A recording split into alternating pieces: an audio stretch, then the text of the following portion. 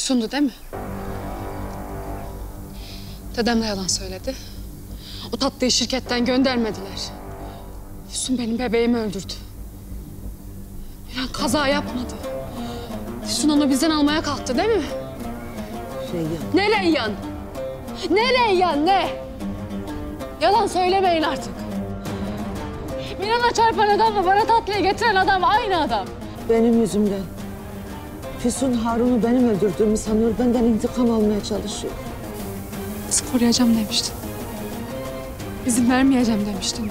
Bu kir artık bize bulaşmayacaktı hani. Öyle demedin mi? Bu kez yapacağım söz. Tutamayacağın sözler verme.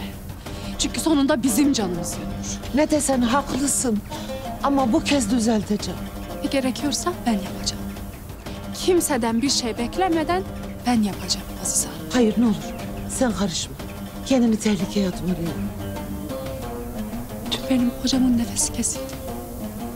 Kalbi durdu ben başında bekledim. Yaşasın diye. Bundan sonra tehlikeden başkası sakınacak kendini. İntikamın bir insana neler yaptıracağını en iyi sen bilirsin. Miran'ı sen büyüttün. Tanıyorsun. Durur mu Miran? Hı? Duracak mı? O yüzden durma.